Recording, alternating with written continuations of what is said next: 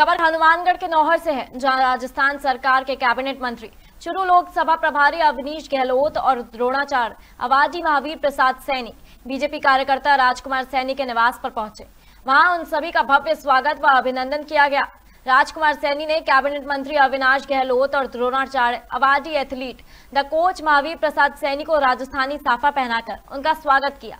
आपको बता दें कि लोकसभा संसदीय क्षेत्र चुरू से बीजेपी प्रत्याशी देवेंद्र झाझड़ा के समर्थन में रखी नुक्कड़ सभा में पार्षद गंगाराम पारिक, पूर्व सरपंच मालचंद पांड्या, लोकगीत गायक महापाल सैनी, भंवरलाल सैनी, पार्षद छोटू राम सेवक, भाजपा नगर मंडल नौहर के पूर्व अध्यक्ष बसंत तिवाड़ी मुकेश हिसारिया, मुकेश बंसल, अशोक गिंधड़ा आनंद खदरिया, पार्षद सुरेंद्र सैनी, पूर्व पार्षद सुरेंद्र भाया, रणजीत सैनी गजेंद्र जोशी, देवेंद्र जोशी, गंगाधर भार्गव, भजनलाल चिनैया, हरिकिशन भांगट समेत सैकड़ों की तादाद में वार्डवासी, नौहर के गणमान्य नागरिक, मातृ शक्ति व युवा शक्ति इस मौके पर उपस्थित रही।